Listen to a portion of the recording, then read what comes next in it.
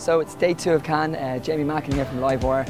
Um, huge amount to take in and learn and see and absorb here in Cannes. It's a pretty amazing experience. Um, the one thing I'd uh, highlight today is being a focus on uh, authenticity and legitimacy in the campaign work that are winning awards and that people are speaking about uh, talks.